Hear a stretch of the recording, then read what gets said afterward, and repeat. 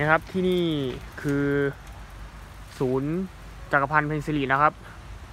มีการปั่นจักรยานด้วยนะครับนะครับ ให้อาหารเป็ดนะครับ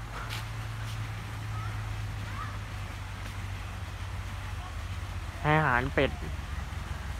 นะครับนี่ครับ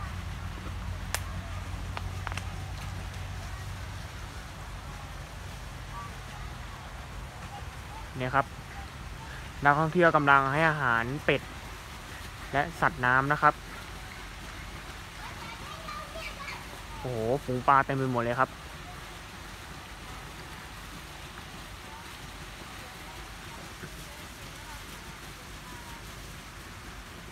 แล้วข้างหน้านะครับก็เป็นน้ำพุนะครับ